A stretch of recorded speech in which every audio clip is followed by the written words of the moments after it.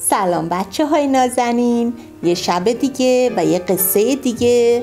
باز هم از قصه ها و افسانه ها نوشته امو تولستوی. امو تولستوی از اون آدمایی که افکارش باید تو کتاب های شخصیمون باشه. اصلا یه چیزیه. باید. بریم یه داستان یه صفحه ای بخونیم. حوصله دارین؟ باز و خروس. باز به صاحب خود عادت کرده بود و همیشه وقتی صداش می‌زدن می‌رفت و روی مچ دست صاحبش مینشست. در حالی که خروس همین که بهش نزدیک می‌شدن فریادی می‌کشید و فرار می‌کرد. باز گفت شما خروسا اصلا بوی از حق شناسی نبردین.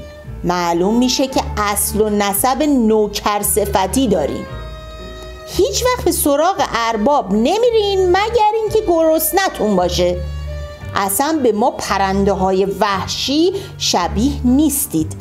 ما قدرت زیادی داریم و می‌تونیم تندتر از هر پرنده دیگه پرواز کنیم. اما از مردم فرار نمی کنیم وقتی صدامون می‌کنن با اختیار خودمون پیش اونا میریم. فراموش نمی کنیم که اونا به ما غذا میدن. خروس جواب داد. شما از آدما فرار نمی کنین چون هیچ وقت باز شکاری کباب شده ندیدیم در حالی که ما وقت و بی وقت جوجه های کباب شده رو میزا می‌بینیم. عجب جواب دندون شکنی بود.